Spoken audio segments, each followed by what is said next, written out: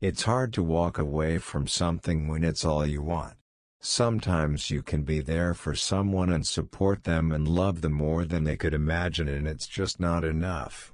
Last night I was reminded by a very special young lady that I am worth more than I think I am and I can get through this.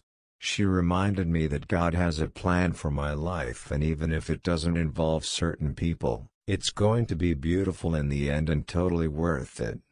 People come and go, but there is always a reason why they were here. Some stay, some leave, some people come back, but there's always a reason.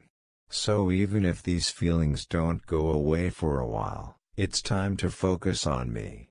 If he comes back great, and if not then there's something else waiting for me thank you for reminding me of that.